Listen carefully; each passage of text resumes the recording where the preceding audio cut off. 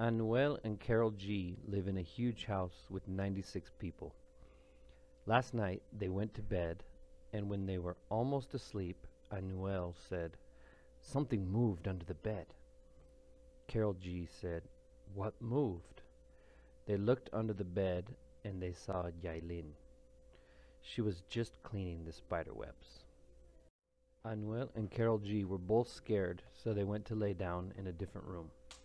They were almost asleep when Karol G said, Something moved under the bed. Anuel asked, What moved? They looked under the bed and they saw Mike Wazowski. He was practicing being scary. But Anuel and Karol G didn't think it was scary. They laughed and made fun of him. Anuel and Karol G went to lay down in a different room. They were almost asleep when Anuel said, There's a lot of movement under the bed. Karol G asked, What is moving? They looked under the bed and they saw the whole senior class. It was senior ditch day and they were having a party.